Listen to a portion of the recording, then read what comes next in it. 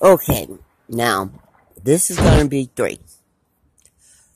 Point I want to make, which they took off my head uh, in the last video, is about urine. Now, um, years ago, I saw this um, girl come out of the bathroom with a cup. Not a girl, woman, a white woman come out the bathroom. She wasn't from America. Just from one of these Euro- European countries. So, um, I don't know if she was Polish, but it wasn't England. She spoke uh, a different language. And uh, people were laughing at her because they said she had drank her urine. She came out the bathroom, she had drinking her urine. I was young, but didn't I pay no attention. But um, I remember old people used to say, well, if you have certain sores or something, urine was used to uh, help heal you. It was used as a health product. But in 2015, I started seeing the videos about urine therapy. And uh, and uh, how urine was called distilled living water. And I remembered Nancy, that was her name, Nancy, were drinking Europe. And they said back in her country, as coming up, because she was older woman, that Nancy, that they use urine for health reasons. But we called this woman Nancy here. Now, another logic. They don't want you peeing, urinating anywhere outside the United States. You, if they catch you on the streets, you get a ticket for urinating in public. Even if you go down an alley, or even if you're discreet, if they think you're urinating, you get a ticket.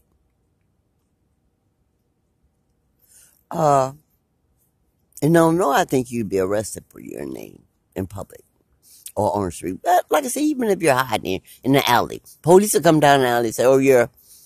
But what's the logic of that? Because cats and dogs and other animals, even fish, urinate all over the land. Fish in the water. They put their waste back in the water. Now, they don't tell you that you can't let your dog or cat pee on the sidewalks and the grass. There's no law against them. There's no uh, nothing to tell you pick up your dog waste. But dogs, animals, still bears in the wood. And some say all animals all over the city can urinate and defecate anywhere with no issue. But it's a problem for humans. They can't allow you to waste that product that they're selling back to. us. so they made it against the law for people to urinate anywhere to make sure they collect that urine and that system that it can process it and take out the things. I read an article. I read an article while I was at that West Valley Detention Center. It's this article in the newspaper in the San Bernardino Times. Hold on. Okay, I stopped they talking. I read an article in the San Bernardino Times in 2018. This is column by Dr. Roach. I don't really respect him as a doctor because uh, the uh, people call ask him a question, he give them wrong answers a lot of times. So then uh, people write back and tell him his answer was wrong. He backtracks a lot. But I still like to read his column because I learn from the people who read his column and and correct them. So I don't really think that Dr. Rose is a real doctor. But this guy wrote in and was asking him about urine, urine therapy. Dr. Rose said he didn't know much about it. sometimes these things that our journalists and our media know, but they don't want to discuss it. But this guy wrote in. This day, this guy wrote art wrote. Uh, he wrote in and said that when he was in the service as a young man, he was a, must have been an older guy. He said during the forties, fifties, and sixties that the government was using doing all kind of strange experiments on the military, on the military man. He says those that were caught during the war, I think this was either, I don't remember what war, but he said during the war that they were in these uh, POW camps, prisoner of war camps. And these, uh, their captors would feed them special diets and collect their urine and sell them to their pharmaceutical companies there. Now, as I said, you could probably look that information up in a San Bernardino uh, Sun. And the man was saying that, this old man was saying that they put them on special diets. And if you look at some urine therapies uh, videos, it'll say that the better your, the healthier your diet is, the healthier your urine, urine is to use. And uh, whatever you eat will produce certain urine. So when the guy said that uh,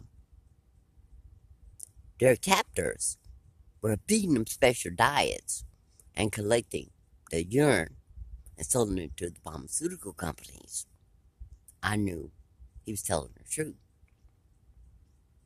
So, why is it against the law for us to put urine on the land? When they can collect it, make it against the law for us to urinate back on Earth? And then they collect it and sell it for food and food, pharmaceuticals, and cosmetics. All right, guys. As I tell you all the time, research, research, research. We're going to have to find out why they have outlawed and got rid of things. Because now we know when they it's carcinogenic or poison, they have their own agenda behind it. Smoking kills this Morgellons. So, kill the chemtrails stuff. Excuse me. I noticed this in 2017 that if I'm in my tent and I smoke a cigarette and it was at night and I use my light, I can see that Morgellon particles die, fall to the ground. So I noticed then that smoke kills that Morgellons, that smart dust. That's why I started smoking again.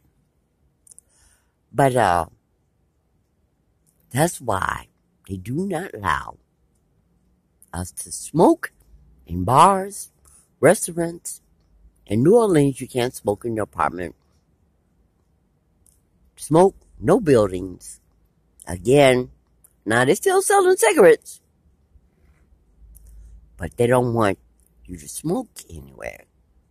Because that smoke killed them Morgellons in these buildings, in these restaurants, in these bars. Used to be able to smoke on an airplane. Can't do that anymore. Because you was way up there with that Morgellons, with that smart dust.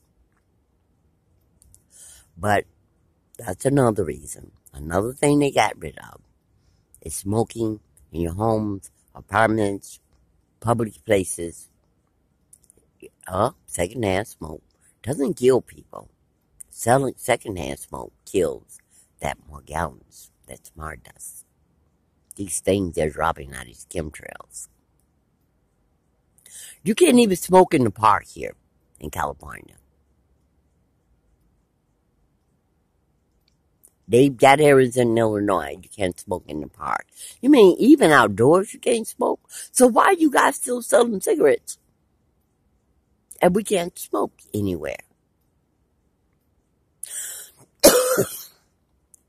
As I said, they got rid of smoking.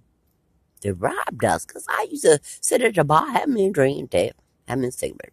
Have me a nice meal in the restaurant, and have me a cigarette. But you can't do that anymore.